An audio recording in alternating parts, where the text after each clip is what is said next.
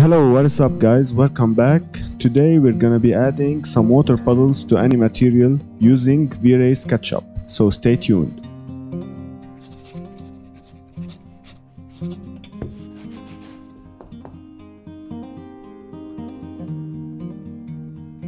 Just do it! So guys, I prepared this material, which is uh, pretty basic, a road on which I will be adding the water puddles.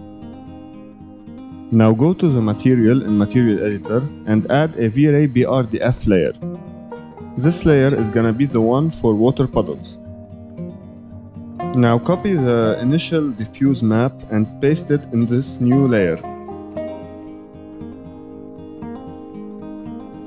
Now drag the reflect to blank for maximum reflectiveness.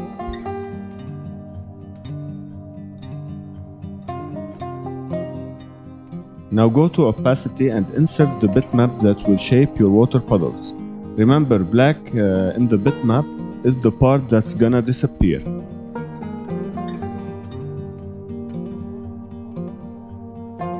So go and launch the interactive rendering to see the results of what we're working on.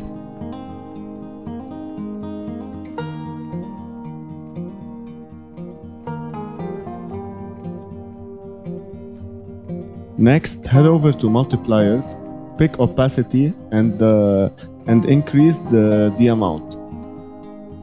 The more you increase the amount, the better you see the water puddles. Now to change the shape of the water puddles, you should go to the diffuse map on the opacity and, uh, and uh, tinker with the U and V in UVW gen channel.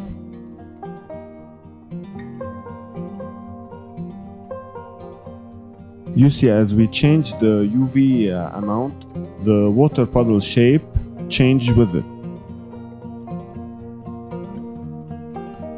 There's only one more step before rendering, is liking this video. Once you like the video, you can now go change the resolution and render to get this amazing result.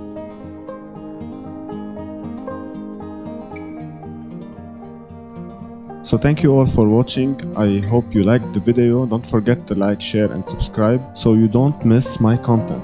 Thank you.